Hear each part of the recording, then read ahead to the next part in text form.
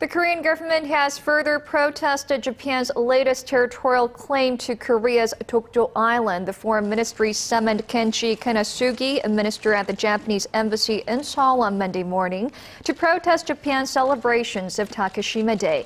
Takeshima is the Japanese name for Dokdo.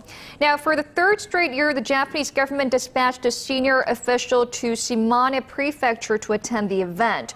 Korea denounced the move on Sunday, calling it historically regressive aggressive and one that raises doubts about Tokyo's sincerity to strengthen ties with Seoul.